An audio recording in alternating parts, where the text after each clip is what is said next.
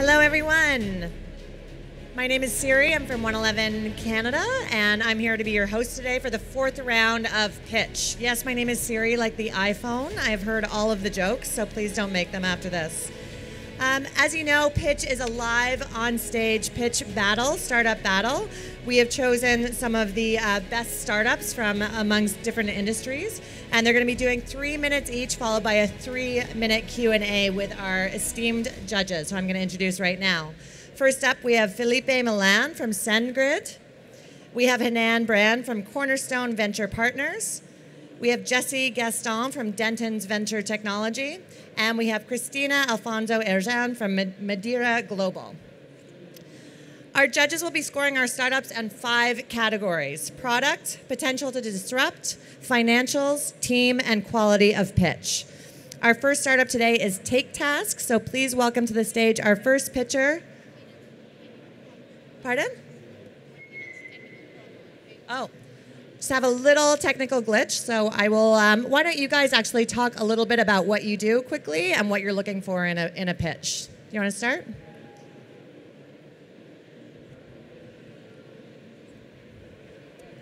So I guess what we're looking for, uh, what I'm looking for, is some uh, clarity about exactly what the what the what technology does, uh, what this product makes different from what the competitors are currently doing. We're good. Anybody else before we get going? Any last minute tips? Just a clearly defined revenue model and uh, an awareness of where they operate within the marketplace. Gotcha. All right, you got that, Sebastian? Okay. All right. So we're all set to go. So our first uh, pitcher is from TakeTask. Please welcome Sebastian.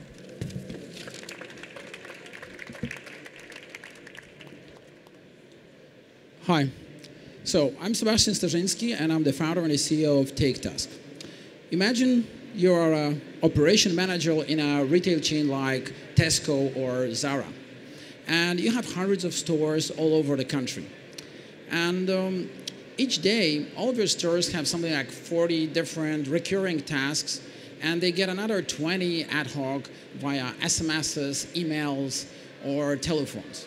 And in many areas like merchandising, uh, product replenishment, cleaning, food safety, etc. Of course, you want your uh, employees to follow the standards, but honestly, they uh, sometimes can misunderstand, forget, or even refuse to comply with those standards, and you will not even be aware of this. So uh, we enable smart uh, quality assurance and uh, standard uh, standards um, uh, execution. With our task management application, we have um, we deliver a task management application with a, a communication tool and micro training for uh, distribution and control of your standards all over the company. Um, we are on a, a, productivity and online collaboration tool market, which is about $5 billion, uh, and is growing in a two-digit space. We now concentrate on retail and Horeca as they rarely have this kind of um, solutions.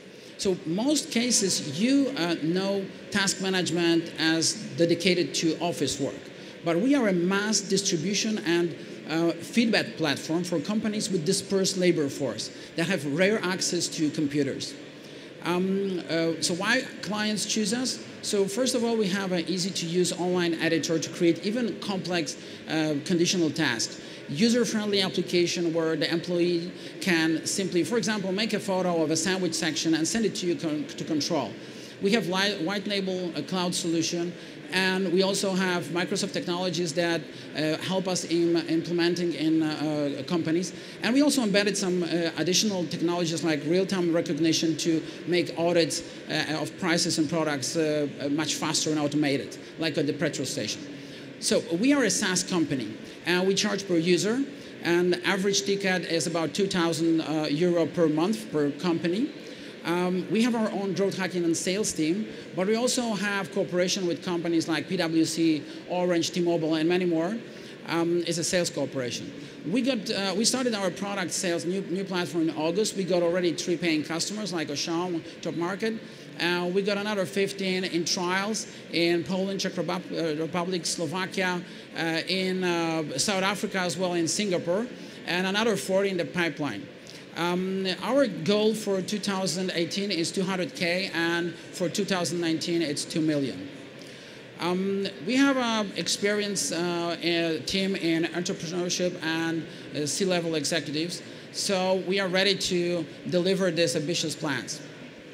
We have raised um, 350k from founders, angel investors, and some EU grants before 2018. And this year we have raised 300k from VC and some angel investors uh, to build a better task automated distribution uh, uh, system. And we also uh, now have a ticket for 100k to end our goal, investment goal for 2018. We also raised 100k from um, from uh, some uh, EU grants. Um, and next year, after uh, checking our sales uh, growth hacking tactics, we want to raise additional 1 million to scale up faster. And we also want to acquire 1.5 million from EU grants to build a second R&D uh, project based on AI. Thank you very much for your attention. Okay, thanks, Sebastian. We have a couple minutes uh, now for questions from the judges.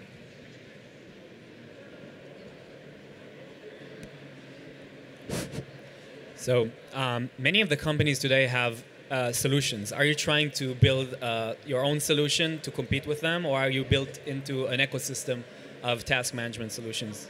No, we have our own solution, but we integrate many other solutions like this real-time recognition uh, or image scanning or, uh, or, or, image recognition. These are different two technologies. We also now uh, cooperate with companies that have intelligence shelves to build automatic uh, tasks for the employees if the shelf is empty, for example. I know it's a small pool today, but do you have an idea, sense of what your customer acquisition cost is and how you plan to go 10x by next year in terms of your revenue? Yeah, sure. Um, it takes about one month uh, uh, to. Oh, it, it, actually, it's quite easy to encourage the, the, the, clients in the retail sector to have the, the, the, tri the trial.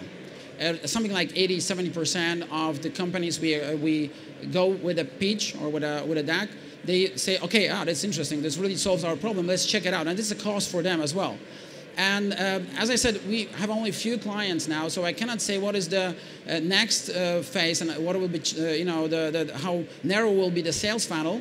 But it looks really optimistic. We, we hear very good uh, information from clients. They simply, we now have like five clients that said, we like it. We have to go for the budget because we have to buy smartphones for our employees. We don't have it. That's why we team up with T-Mobile, Orange, and we now talk with other telecoms because we give uh, opportunity for these companies to sell more. Now, the same as PwC, they digitalize the, the and, and, and, P, uh, and BCG also, we work with them. They digitalize the, the workspace and they give them a solution. We're actually going to leave it there because we went a little bit over. So thank you, Sebastian. Yeah, thank you. Okay, next up on the pitch battle stage is Oliver from Almond.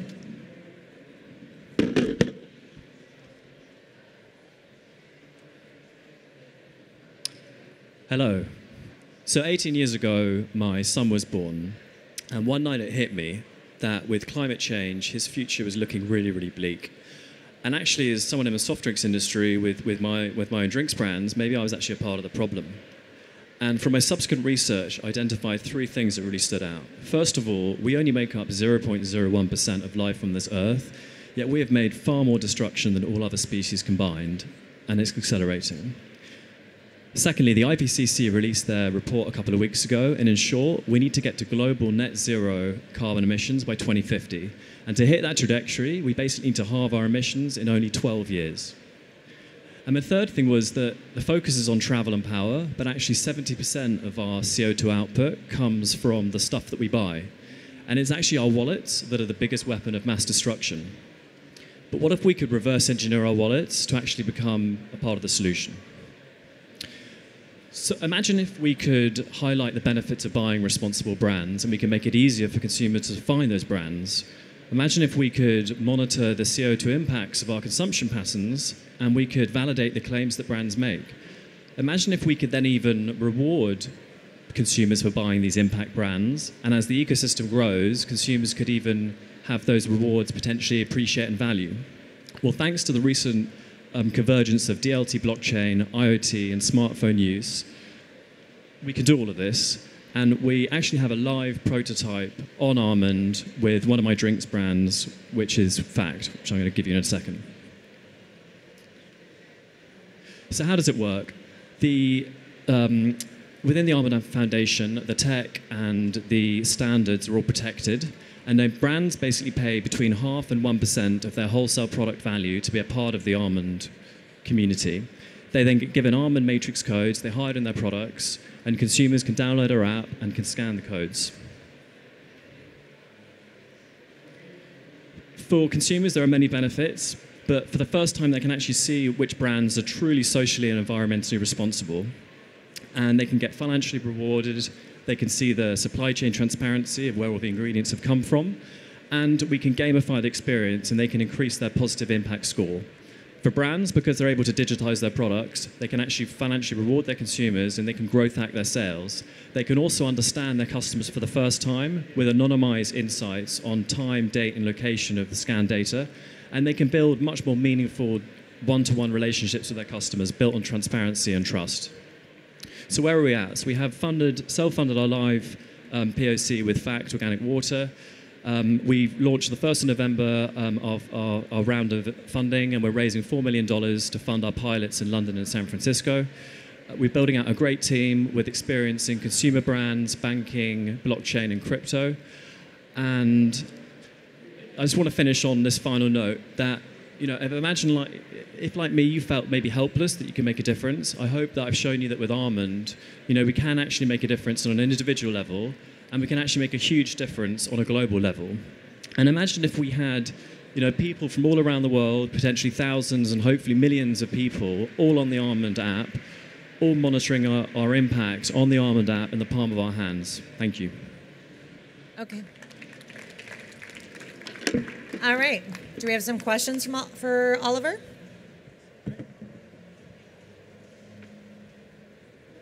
Hi. How do you get your money? So we charge brands between half and 1% of the wholesale value of the products to be on the platform. And do you pre-select um, the brands depending based on the criteria that fit? Yeah, so brands have to basically meet the minimum environmental and social sort of standards. Um, and to start with, we're focusing on B Corp brands because they've got um, a really robust kind of uh, assessment system already in place. I run an ESG reporting firm, so this is my sweet spot. So my question to you is, how do you maintain integrity if you're also rating these brands to also be uh, having them be part of your revenue channel? So we, we, you know, the foundation kind of operates independently. There's actually two arms to the project. There's the non-profit foundation, and then there's a for-profit arm which raises investment to help scale up the um, ecosystem. So there's a separate committee that comes up with the standards, and we will have separate partners that then check to make sure brands are adhering to the minimum requirements to be on the platform. So you were talking about four million euros that you're uh, uh, raising. Four, four million US dollars. Okay. So what's your plans? What do you believe you can achieve with that? So we're building up these this, these hubs in London and San Francisco, um, and by March we'll have ten brands cross sector in in London and 10 in San Francisco, um, ranging from startups to uh, probably the largest brand we're talking to has $50 million um, in annual sales. So that, that, that, that, investment will go towards basically setting up our, um, our pilots in London and San Francisco and you know, promoting the platform. And well, our plan is in a year's time to have 150 brands on the platform.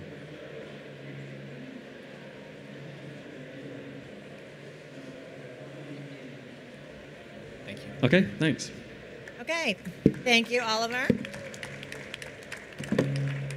Next up, we have two pitchers together. Please welcome Naz and Sandra from Aligner. Hi, everyone. I'm Sandra. This is my brother, Naz. Hello.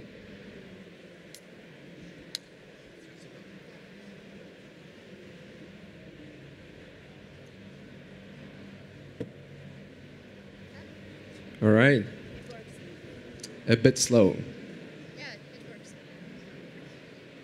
So, in my previous jobs, I had to handle and manage 35 documents in six languages. And as you can understand, that they constantly updating them and making up to date together with your product and service is extremely difficult. It takes months to get the job done. Every international company has a variety types of content that they have to keep updated in different languages. So pro- policies, product descriptions, contracts, marketing materials, legal, and so on. The content is growing, and the biggest issue is that in three years we will have 5x more content, and uh, managing the translation is still manual. While searching for the solution to this problem, we got inspired by these two gentlemen, James Watson and Francis Crick. They were the first ones to demonstrate the DNA structure. What we discovered is that by creating a DNA to every document plus live DNA versioning of this will enable us to do the changes of 100 languages as it will be one. How exciting is this? Yeah. Aligner detects even one character change in a specific paragraph in one language and applies changes into the same paragraph in all other languages. Companies spend globally around $50 billion on translations, and getting translations done is a question of about 50 clicks. We know how to make it with one click. So how Aligner works? It's easy. Just think of Dropbox. You add your content, you edit, and you share. Plus, you will have available translation and proofs reading services at one click. In cooperation with Y Combinator, company upgraded, we made a case study and proved that updating your content is seven times faster with Aligner compared to any alternative. Our pricing model is flexible. We have something for individuals, startups, and enterprises. We earn revenue from based uh, monthly fees and commissions on translations. We target both the companies that have multilingual content and the translation agencies, which makes the customer acquisition cost pretty low. Just by looking at this slide, you will understand what does it bring to a successful company to scale. We made this photo on the day we launched Aligner DNA. Today we're a team of six, and on the behalf of the whole team, I'd like to invite you to visit aligner.io. Thank you. Thank you.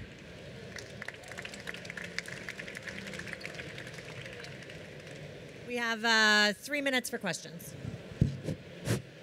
So um, last year, uh, Google Translate added AI capabilities that make their translation much better.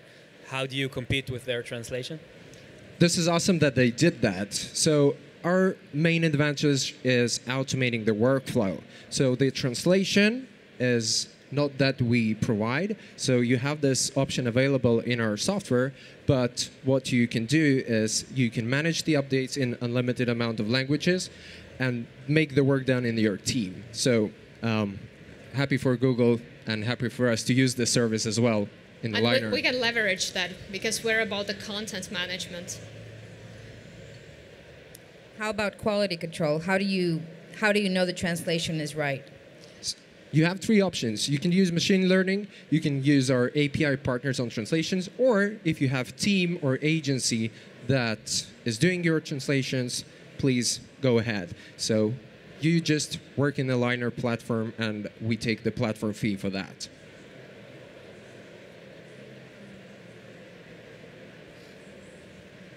So it's a combination of uh, flat fee that you pay for the service and then additional services that you can pay on top of it, like uh, uh, online translation, etc. Absolutely. Plus proofreading and plus more coming. Yes. And the pricing model is based on the volume. So the more users you have there, the more content, the more languages. So we're currently handling over 100 languages. So if you're using all of your documentation in 100 languages, then it's easy, but you will be paying probably the enterprise package price.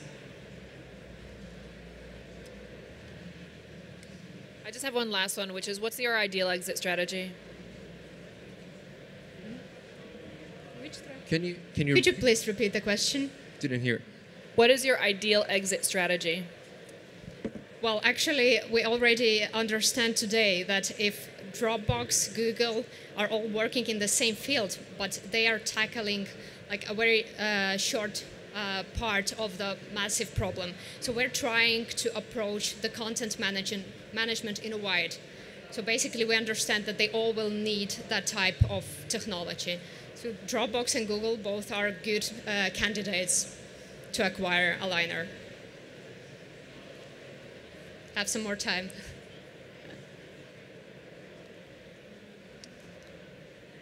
So if you have any companies in your portfolios who have multilingual documents and contents, please invite them to Aligner. Would be happy to help them. Okay, thank you, Aligner. Thank you very much. You. Our fourth battler is now ready. We have Gareth from Gammatech.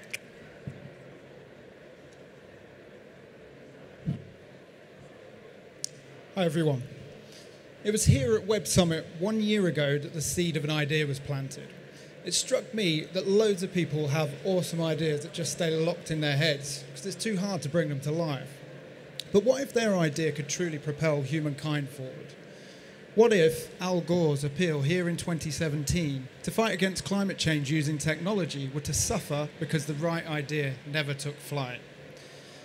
I'm Gareth Edge, and I left last year's Web Summit so inspired to ins- extend the, the reach of technology that I quit my job, I founded Gammatech, and I'm now leading a team dedicated to breaking down the barriers for would be innovators. We live in a society of creators. Of a thousand people surveyed, 460 people had ideas that could make an impact, but only 20 did anything about it, and just five managed to deliver anything.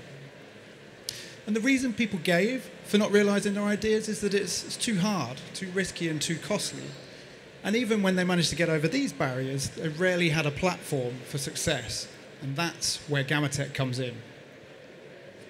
We've created a framework that provides secure, automatically scaling, cloud based solutions. All of the things that people tend not to think about when they're focused purely on their ideas. At this point, they just want the freedom and the tools to be able to experiment and to give life to their creations. So, we're packaging up our framework into services that place intuitive tools in the hands of anyone that may need technology to uh, launch their ideas. Our first product, ThoughtFormer, is based on the concept of connecting jigsaw pieces, and here it is in action. Requires no technical skills, and with just a few clicks and connections in the work area on the left, it transforms your ideas into web and native mobile apps which work immediately in the previewer on the right, or indeed directly on your mobile devices. Our future products will incorporate uh, voice capabilities and AI assistance to help not only create applications, but also entire businesses around people's ideas. Everything needed to help making realize your ideas easier, less risky, and all offered with a simple and affordable pay as you go subscription fee. We're tapping into a sector that's got growing demand. Uh, experts predict this market to be worth $27 billion by 2020, but our initial focus will be on micro organizations and entrepreneurs in the UK and the US, giving a total accessible market of 58 million customers. We're self funded so far, but we're now seeking to adopt an investment led approach, and we're projecting profits of $2 million in year three, but that'll go up to $41 million in year five. Investment will fuel both the development and launch of our products, but also establish our operational uh, functions. It's credit to my awesome team that we've won places on both the Alpha Startup track this year and this very pitching competition, but we know that this is just the beginning. So thank you for letting me talk about Gammatech's vision for delivering technology for all and for realizing your ideas. And I welcome any questions.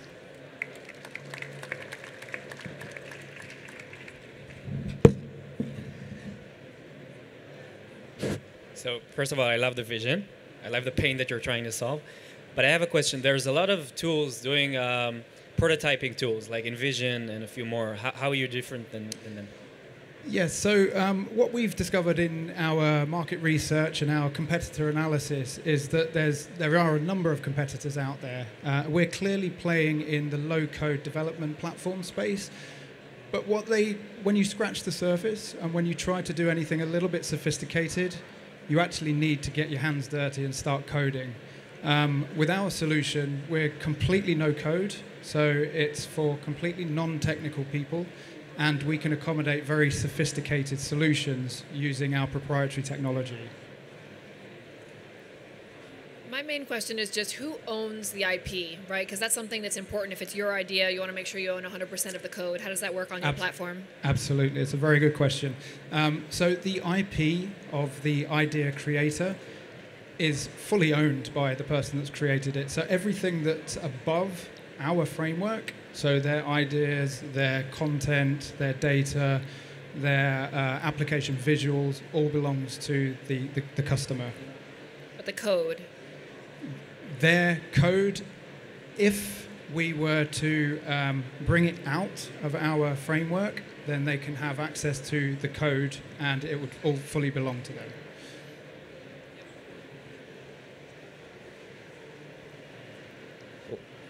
So what's what stage is the product? Uh, it's still an alpha version. I guess you have still a few more uh, capabilities that you want to implement. Absolutely. So um, we're really early stage at the moment. We're literally this didn't exist a year ago. Um, we have basically uh, we've got a, quite a small but mighty team that have um, concentrated on building the fundamentals and the framework. That is fully functional, and we have built out full solutions on top of that framework. But we now need to bring it to the masses, which is where we need to bring the ThoughtFormer product uh, to market. We have a fully functioning prototype, which we can show anybody at this stage. Um, but we now need the investment to actually bring that to market and to uh, fully realize the potential of solving this problem. So the vision you presented is very wide, but I, I guess this solution is not relevant for all sector, sectors. So is there any specific sector that you want to focus on as the first uh, go-to-market? Um, not anything specifically, because we feel that we can accommodate a, a really wide range of ideas. Um, but it, to be honest, it, it, no, there is no single sector. Um, it, it really can be used by anybody. So we are going after the smaller kind of organizations in the UK and the US just to uh, capitalize on the English speaking uh, countries for now. Um, and then we'll roll out more globally uh, subsequently. Just one comment. Uh, we're not looking for profits. If the company is going to okay. succeed, Yep. Uber today is not profitable. Okay. Most of the companies are not profitable. We're looking into revenues. Profit is not in our business uh, Oh. venture. So That's, thank you for the feedback, and I can give you the revenue details if you want. Okay, thank you. thank you very much. Thank you. So we're halfway through the fourth round of pitch battle. Next up is Dave from Nomad X.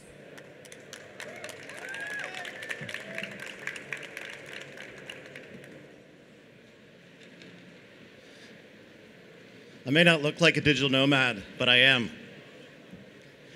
After starting and selling my last companies, my wife and I traveled the world, and what we realized is there, there, there wasn't a, an affordable solution for us for staying in places for longer than one month at a time. We were limited to Airbnb and to uh, Booking.com options. And we were also having a hard time finding social community, professional communities.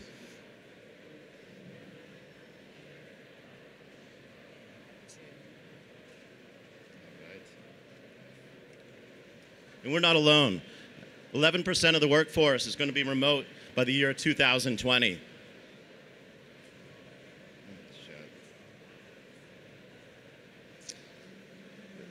There are 9.6 million digital nomads today, and this is supposed to increase to 100 million by the year 2030. So this is a huge market opportunity. Digital nomads, typically 25 to 45 years old, uh, slow travelers, typically on a budget. Uh, they're creating their own lifestyle and their own jobs to be able to travel the world. Typically, digital professionals, marketers, programmers. The common problems with nomads is loneliness, trying to find community.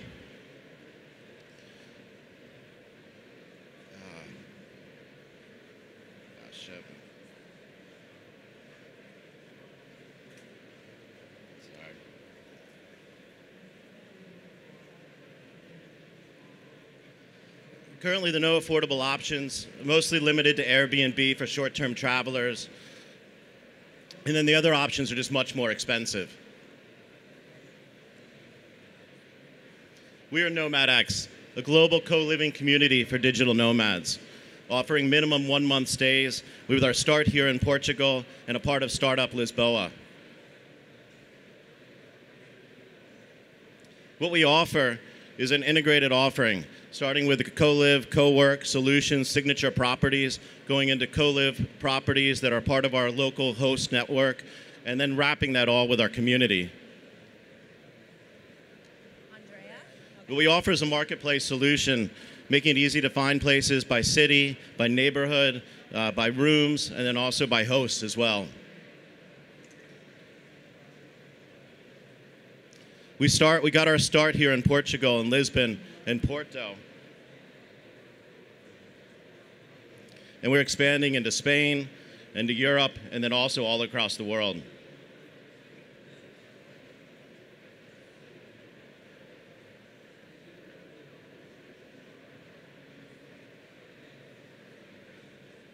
Current revenue is 260,000. We expect to have 1.8 million by next year, growing to 10 million and then up to 100 million by the year 2022.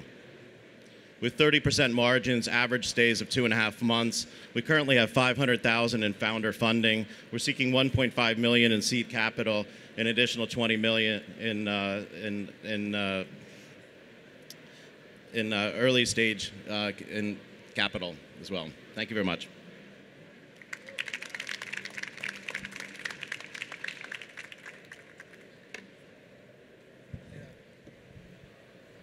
Hi. Um, how are you going to be competing with WeWork when they have their own facilities, their own standard quality, and you're kind of like using kind of like Airbnb point of view? Like how you maintain the level and the quality? Yeah, so our, our, properties, I would say, is very similar to the early Airbnb model, where the main part of our network is third-party properties through third-party hosts um, that are typically it's more of a spare bedroom type model. Typical pricing is anywhere from 450 up to 850 per month, which is much lower than the other anything else that's in the marketplace. WeWork is offering more kind of large scale solutions, much more institutional. Um, from what I hear from my friends, it's like working out of a jail cell. we're offering more access to the local communities, integrating them in with the local communities, and, and giving back much more to the local communities than the WeWorks we're actually a solution, an alternative to a WeWork.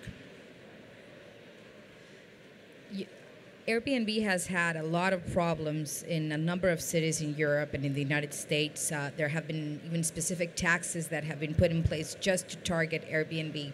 Um, do you think you're going to fall into those? Uh, have you considered the risks yeah, so I think that's actually a solution that we're solving. Um, we have minimum one month, 30 day stays. So we're not considered short term rentals, we're actually considered longer term home stays um, so we can avoid a lot of those issues. We're also um, integrating much more with the local communities. Our typical members don't want to be a part of the uh, local touristic crowds. They want to be part of the local communities and neighborhoods that are calmer, more relaxing, really integrating, getting to know the bartenders, not just coming in and staying for three days at a time and destroying the apartments. So we're finding is the hosts are actually much more interested in working with us than traditional Airbnbs. The tax rates are also much lower for the longer term stays than they are for the short term stays. And there's also a lot of limitations being placed today on the number of apartments that can be Airbnbs in certain locations. So we're able to avoid a lot of those issues and create an alternative solution. The red dots across Europe, are those locations you're already operating and have places, or is that where you plan to expand? Uh, we plan to expand to all the top digital nomad friendly cities throughout Europe and then also throughout the world. Currently, we're just in uh, Lisbon and Porto, but we plan to expand to other cities here in Portugal as well, into places like Braga and Viana do Castelo, Peniche, and even down through the south into you know Lagos and other places. And what does that plan entail? What's the strategy? Uh, well, we have a media strategy where we're targeting the, the cities, attracting leads, and then we're converting the leads um, into properties. We have a, a, team that goes out and meets with the property owners to make sure that they're friendly hosts, that they can speak English, um, that the, the properties meet a certain standard. We're also, for certain properties, even bringing in our professional package, which includes um, monitors, ergonomic chairs, uh, Wi Fi extenders, even nice bathro- signature bathrobes, and uh, slippers. You get the real feel like you're staying in a hotel. Um, so really trying to extend the experience in a way that you just don't find on an Airbnb or typically if you look for something on the on Facebook groups or other things.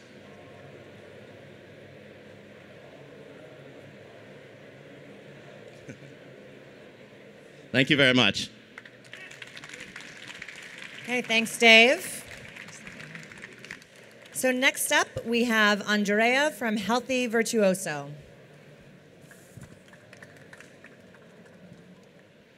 Hello, everyone. My name is uh, Andrea Severino, and I'm the founder of Healthy Virtuoso. This is Franco. He's my dad. He's 70 years old, and I really care about him. Sometimes I fight with Franco about his sedentary behavior. And uh, one day, Franco came back at home and said, uh, Andrea, today I've been walking a lot. I'm very tired. I say, yes, Franco, you're 70 years old. How much you could be, you could be uh, walking around? I checked his phone, his iPhone, and I saw that uh, he has been walking for 13 kilometers. As soon as I told you and I gave him the awareness, he started telling everyone by the phone, today I've been walking 13 kilometers. The day after, he came back and he said, today I walked 14 kilometers. The day after, he came back and he said, today I walked 15 kilometers. And so we understood that there was something on it. That day, I chose to bring uh, my father out for dinner to reward him for what he reached, what he achieved. With the awareness, with the vanity, with the challenges, and with the rewards, that's how Virtuoso was built. Basically, Virtuo- Virtuoso is uh, just an application that uh, rewards and incentivizes the people to live an healthier lifestyle, and it does you through psychology, gamification, and big data. We have launched a prototype in May with a just uh, expenditure a budget of 2,000 euro. We reached uh, 35,000 downloads, 1.5 million accesses, and more than 25 active partnership. The cool thing is that uh, it's not application that you need to track, you use to track your activities, so you use to track uh, your sport, your data. It's just an application that uh, keeps the data from your phone, from Apple Health, from Google Fit, and all the related application to incentivize people doing more. The process is very simple because you just download it, upload the data sharing, and you get rewarded for what you daily do. Our aim is to fight uh, the sedentary and uh, to fight uh, the um, the obesity because those are cause of uh, most of the chronic disease uh, and uh, the bad feeling of the people. We are starting from Italy. As I said, we launched in May, but uh, our goal is to expand quickly abroad. We've got a really high engagement from the users and really low cost per acquisition, and so that's why we're already moving the other markets.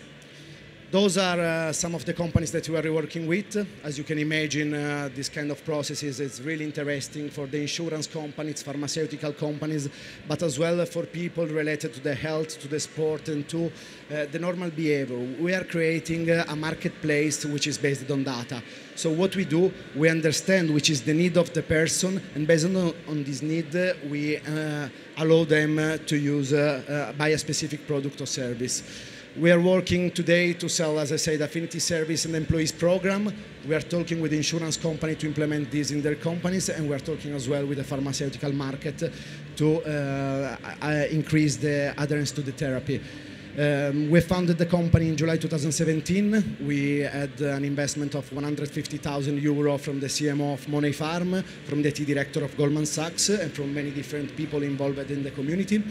We raised again uh, 100,000, 50,000 150,000 euro from the banks, and uh, we are going to launch it officially in the coming weeks, in two weeks in Italy. This, uh, this is our team. It's mainly made from people working uh, in marketing, design, and accountancy. Uh, we have got uh, 18 people working on this project. Um, this is my father now. He became a Virtus user, so I'm really pleased about it. And uh, that's it. Thank you very much for your attention.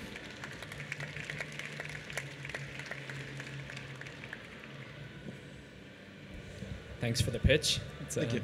It's a good, um, good cause. Um, so there's many apps that are counting steps and are uh, you can compete with your friends. Is there any other usages other than walking, running, cycling that you're using in this app? We've got a different positioning. So we don't track any data. We just use the data that is already tracked through the other application. So we stay on top. We say use Nike, use Runtastic, use Strava, use Headspace, and for using those applications, you get rewarded. So that's how we are building even our customer base through the partnership with those applications. So what's these? You're talking about rewards. You get free coffee. You get uh, uh, every day you earn credits. healthcare? With the credits, uh, we get uh, discounts or free products by the partners. We've got uh, partnership with Under Armour, with Adidas, with Garmin, with Polar, with many different corporations. We are still building more with uh, companies selling food, healthy food, uh, with uh, the services for the gym, uh, with many corporations related to the fitness. To the What's their incentive? Is they give a huge discount or free products. So now we are talking with GetFit, which is a big corporation in Italy for gym. They're giving the first 20 days for free. Because what we do is we put in touch the demand with the offer, and uh, it's not just a discount voucher, because the people need uh, to gain those credits and then to use those credits to buy, to buy the, these discounts. And on top of this, we've got Amazon vouchers and similar stuff. So mine is maybe a step away from that question, but similar because I've used some of these reward um, platforms before. I guess my question is, what is your unfair competitive advantage or unique competitive advantage relative to, to, to these other reward incentive which is sorry, our competitor. what is your unique competitive advantage within the landscape? is, a, is an independent platform. So what does it exist today? Are uh, mainly vertical application that count steps, Sweatcoin, or vertical application that works just for employees companies, for, em- uh, for employees, uh, yeah, corporation, or just, uh, uh, for example, Vitality in UK um, services that has for people within insurance we cross everyone. We get, went mass market. We make it available for everyone, and then through this, through the data, through the engagement, we are creating the value for the corporation. And so, who funds you? The um, the partners, uh, The partner companies, they fund you. Well, basically, we at the beginning of the project, we saw that it was very easy to get the money, so we chose the right people to came in, to came in and invest. As I say, there is the CMO of Moneyfarm, which is uh, really related to this business. Uh, the CTO at the beginning has been uh, the IT director of Goldman Sachs, so he helped us and he put the money too. There are some famous journalists. There is a World Football Champions behind uh, from 1982, Marco Tardelli. We choose a lot of people in each vertical uh, segment. But, you said that um, if you um, if you're giving out uh, Amazon vouchers and discounts to Adidas, et cetera, et cetera, um, are they Okay. are they paying you to get the information from that you're collecting from the clients? We are not sharing the information so far. Our business models comes uh, uh, from uh, the value that we generate for the partners uh, through the discounts. It comes for the service that we sell to the corporation. So imagine to use these in the customer base of an insurance company. So we get paid based on the savings that they do on the customer base, on the loss ratio, which is Thank you. Thank you. Uh, we're going to have to move on to the next pitch, so thank you so much. Next up is Philippe from Greener Act. Where's the, uh, ah, thank you. Hello, everybody. My name is Philippe, and I'm the founder of Greener Act. Greener Act, travel and act in a more sustainable way. Our mission is to improve the livelihood of local communities while contributing to the Sustainable Development Goals of the United Nations by traveling and acting in a more sustainable way. So the questions here is how can we minimize the negative impacts of tourism growth? How can we safeguard and protect our natural environment? And finally, how can we harness the power of the travel industry in order to sustain local economies? There's great existing initiatives all around the world. What Greener Act will give them is the right power and the right tool to join us in this sustainable revolution. So, how big is the market? It's pretty huge. According to Virtuoso, 80% of the millennium will choose a hotel which gives back to the local community. Same thing with Condé Nast, uh, with Condé Nast uh, uh, Traveler. Nearly 60% of the readers will choose a hotel, which gives back to the community. And in the States, 70% of the adult traveler will choose a company which, will give, which protects the environment. So, could sustainable travel engagement be the answer to over tourism? Well, we believe it is. And this is how and why Greener Act can really make a difference. So when you join the platform, you can start creating your greener places, which is basically where you showcase your good practices and your products. After you can create greener events, which is where the traveler can participate and engage in community works. Then you can create your causes, which is as well where the traveler can donate and support your local causes. And after you got your greener cluster, which is dashboards that you can have intelligence reporting and benchmarking of your own community cluster. So what are the USPs of Greener Act? So first, it's a free app for the traveler to facilitate market penetration. You can create your own sustainable profile and you can measure your engagement as well. You can link each events and causes to one of the 17 sustainable development goals of the United Nations. You can challenge your friends and colleagues through sustainable gamification. You can measure as well your employee performance and find out who is the greener employee of the month. So where are the revenue streams? So we've got some banners, we've got some digital banners, which is where you can advertise and give traction to your company. And after we've got some different reports and dashboards, which you can use for your for your CSR reporting, and which will give you different market intelligence and diff- and how your company is performing and impacting in your in your region. So financial highlights, as of the second year, will be financially sustainable. We need 50,000 50, business users, and in three years, we think that we can reach 9 million revenue. But more importantly, we commit to give 10% of our profit back to the greener causes that we are supporting. So where, where are we now? We are recruiting uh, two technicians for the IT department, one DMO and one sales executive. We are available on iOS and Android, and we are looking at we are seeking one million fund, one million euro of funding so that we can support two years of uh, commercial expansion. We want to become the market leader in sustainable travel engagement. So this is the team. Myself, I'm the CEO. We've got Daniel Frey, who's an international sustainable expert. We've got a Portuguese development team, an IT team, and we've got Dimitri here, which are our marketing and hospitality guru. So if you really want to make a difference when traveling the world, well, download Greener Act now and start with us the sustainable revolution. Greener Act, travel and act in a more sustainable way. Thank you. You got a question, panel?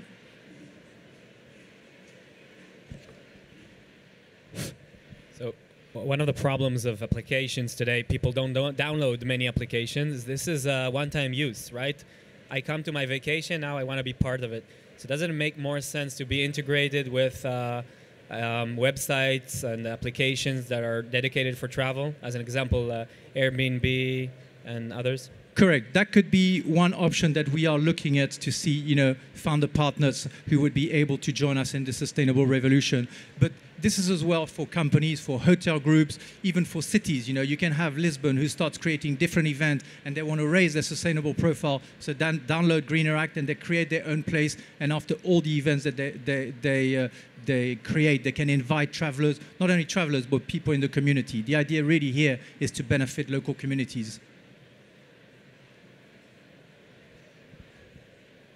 Uh, what's the uh, for, for geographic expansion? What's sort of the go-to-market strategy?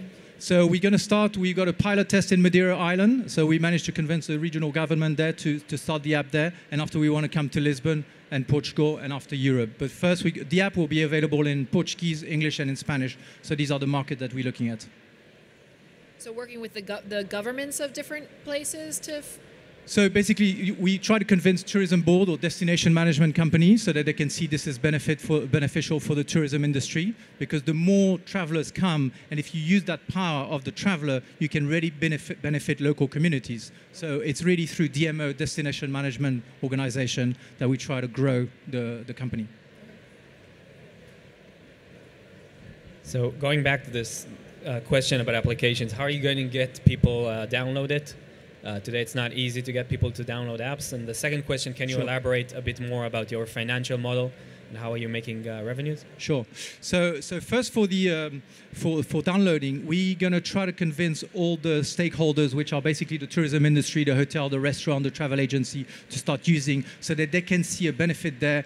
This is a great information for their corporate social responsibility reporting. So if they use it after, they can contact directly the customer before he comes on a holiday and say, "Hey, by downloading this app, you can help us to improve community life around us." You know, so that will be the mechanism to be able to download the app.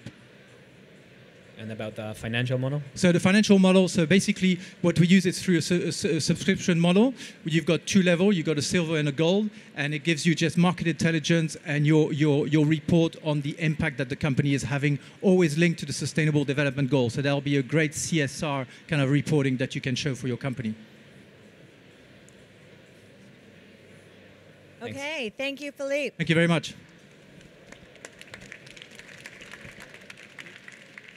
All right, and now we have the final pitch of the fourth round. Please welcome Denis from Smart Calls.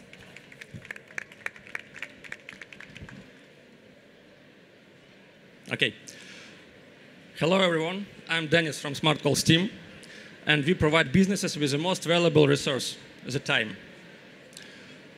You see, 60% of working time, your sales, customer success, and call center agents are involved in typical tasks. So our idea is to free all the time for the things that really matter.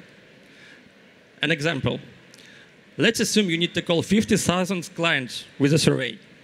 To do so, you need 25 call center agents, eight working days, and 1,600 hours of calls, which in the United States will cost you $35,000. With smart calls, you can do it within one day. Design your intelligent voice bot in 30 minutes and reduce your costs more than three times. Let's see how it works. With easy to use visual editor you will be able to create smart call campaigns in a very short time. No technical skills required to create a multifunctional scenarios based on your business needs. When your scenario is ready, just upload your contact list in Excel or from your integrated CRM using the API and reach up to million people to deliver valuable information on time. In more than 180 countries. In one day, in native language. And track your success. We provide with all the necessary details. Let's design an intelligent customer success together. So I hope like the voice because it was our voice bot speaking. So in addition to mentioned benefits, we offer pay-as-you-go business model, which is affordable to any company. So anyone can free the time for the challenges that require human empathy, creativity, and decision making. And that leads to the outstanding customer experience, constantly growing revenue, and high profitability of business. Our target market is $80 billion. We reduce costs more than three times, so we can save $160 billion to market for the call center costs. So here we are, my passionate team. Uh, each of us has more than 15 years of experience. Andre in uh, development of IT products, and uh, me and my brilliant co-founder Sayoda is uh, in sales and marketing. So together we have gained almost 50 B2B customers and got $100,000 of revenue. Our goal for the next year is to reach 12 millions of calls and $1 million in annual revenue. And to achieve that, we are looking for investments in sales and marketing activities and for further product development. So don't miss a chance to innovate your communications and uh, register at smartcalls.io and try it yourself. Thank you. Um, so we love call centers. We invested in two companies in the last year. We think it's uh, it's not going anywhere. Um, my question: you're, This is for outbound calls, right? Not inbound. It's for teams who have who are, we need to call to massive amount of people. Uh, our plan is to make the, the same thing, the same visual editor for voice bots, uh, also for the inbound calls in the next year. So the first quarter of the next year. Right. At the moment, it's for outbound calls. So it's for big projects that you just want to send uh, call million people in parallel. There's two options how to use it. Either it's mass call campaign or it's trigger calls. uh, like uh, something happens in your CRM, the order is received, or you need to and, uh, and you need to confirm the order, so you can use this voice bot for trigger calls, which is uh, generated via CRM system, for example, or ERP, and so on. And uh, well, actually, yeah. What do you do not to be uh, marked as spam? it depends on the companies, but uh, we, uh, let's say we po- fully compliant with different um, policies and rules. For example, we have integration with do not call register in the United States and so on. So as soon as we uh, received some um, claims from the customers, we should uh, block this uh, customer which uses our product for the bad usage. So Are you uh, as G- well as as well as any telecom provider in the world? Are you GDPR compliant? Yes, exactly. If you use smart calls, you, you agree with terms of service and privacy policy, so you're, which is in full GDPR compliant. Yeah. So I love anything that saves resources, time or money. Uh, so I think it's a great idea. I was just wondering, how do you, what, what percentage of the customers that you currently have have, uh, you know, the calls being blocked? So how do you get past someone like me that the second my phone rings and it's automated, I hang up or I block the number? Well, first uh, we have a voicemail detection, not to talk with your our voice bot, not to talk with your um, voicemail. Okay. And uh, if you want to block it, once again, if you are in, America, in the United States, you have you can use a do not call register to block such calls. Uh, I just don't get the question. You mean how do you, you can block these calls or? If the companies that are hiring you have a large percentage of those that their outbound calls are going to that are getting blocked, they may not use you. So I'm just wondering, do you have that number of what percentage? Ah, well, it depends on the contact base and uh, the use case which was calling. Because if it's uh, order confirmation, you expect in this call. You just don't expect to talk with the voice bot, which is actually very uh, fun and interesting. And uh, if there's some kind of lead generation campaign, for example, uh, of course we will be uh, hanging up much more. So it depends. It's, it depends on the use case. So it varies from, let's say, uh, 30% in some call, let's say standard call calling up to the 199% if you had some kind of uh, service call like order confirmation, something like that. And my last question, how long are the contracts with the customers? Well, we started, uh, let's say, to sign up the customers uh, six months ago. At the moment, they are still uh, working with us, so we don't have any reasons why they, why they should stop these uh, services because it's really uh, cost-efficient thing. So something else? The customers are mainly call centers. No, it's actually uh, depends. Uh, it's uh, banking, e-commerce companies, uh, even the uh, car manufacturers. So they have some specific cases like test drive confirmation and so on. And uh, we also have a small customers because if you are at the growth stage, but your uh, the quantity of your customers is uh, higher than you have, so you have two people in the, uh, in the company. So it's better to use the voice bot and call to all customers in time than to just hire new people once again and once again and once again. So it's a, let's say smart smart way to uh, make a greater customer experience.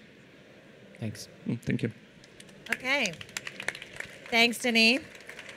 So that was the last pitch of the day. I want to thank all of our participants today. It's really hard to pitch at the best of the times, and, and you know, in this environment especially.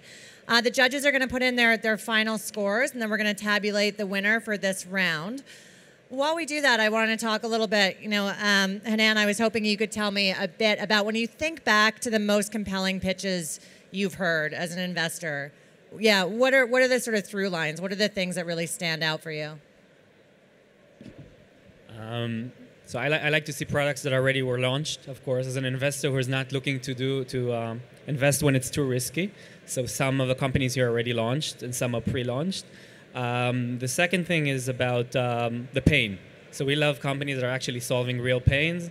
And uh, as Christina said, companies that are saving costs are probably the first one that could, you can go, get uh, into the market because you can show uh, return on investment very, very fast. So some of the companies had it here today and some not yet. Um, do you find that people talk too much about one thing and not enough about something else? Are there things that you find are missing generally when people come and pitch to you guys? I think it's hard in three minutes to cover everything. I would prefer to talk mainly about the product, less about revenues, and profit because it's too early, and uh, that's you know you, your main your main um, uh, goal when you're pitching to investors is to get to a real meeting when you can elaborate about everything else. So I would focus mainly on the product. Felipe, how about you? What are you looking for? Uh, value. I don't care if a startup is based in blockchain or Node or whatever. Like nobody cares if Facebook is built in one or another technology. But where's the value? Like that's the main thing that I love to say to see, and also when they're pitching, kind of like giving us some kind of question that we can ask, and that they know how to answer. Because sometimes they can get really tricky and they get really nervous and they can put all the entire pitch down for not knowing how to answer. And if you don't know an answer, just say, we can talk later. Do you guys, has there been one pitch in the past that stood out for you of someone who really sort of nailed all the, the questions that you're looking to answer? I think one thing that, that wasn't addressed, and again, potentially because it's too early, but I think uh, companies, uh, teams that have a good understanding of where their valuation lies today and that they can actually justify it. Um, and then, secondarily, uh, a very well defined uh, plan for go to market strategy. Oftentimes, the, the target customer or client is ill defined. Um, so I think that that's those are usually two two shortcomings uh, that I see. One thing that I liked with Andrea's pitch as an example is I like when a story is told about where did where were you inspired to come up with this idea. So it has to be based on who is who's the client that that you solve the pain point or who's the family member. Uh, so so really describing the pain point that you're solving I think helps people get connected with the product or service. I couldn't agree more. Um, I think that um, an additional point that that, that is important for investors is going to be that, that you completely nailed it as regards as to who your competition is and what makes you different from them. That is, sometimes it was addressed, not necessarily all the time, uh, and, and it really makes a difference because a lot of these products, there is some level of competition out there that does the same thing. So less time practicing and more time researching?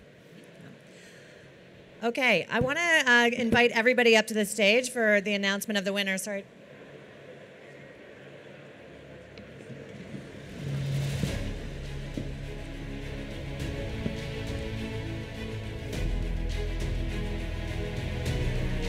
Okay, so the winner of the fourth round of pitch battle is Naz and Aline, Ala. Excuse me, Aligner.